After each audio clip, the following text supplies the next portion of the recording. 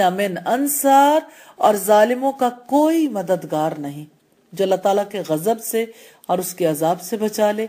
कोई ऐसा नहीं होगा जो मुसीबतों का दरमा हो जाए, जो उस अजाब और मुसीबत को दूर कर दे। आज वक्त है। आज अल्लाह के साथ शरीक ठहराने से बच जाए। आज अल्लाह की मान लें। हाँ इस दुनिया में रहते हुए जो अपने रब की मान ले, वही कामयाब। जो मोहम्मद सल्लल्लाहु अलैहि वसल्लम के पीछे चले, वही कामयाब। अल्लाह ताला हम सबको तौफीक अता फरमाए।